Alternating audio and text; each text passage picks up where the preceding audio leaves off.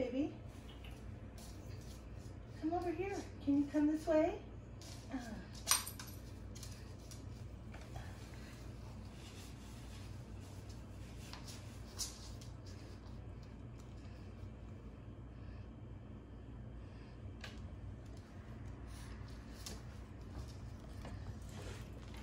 I feel bad right now.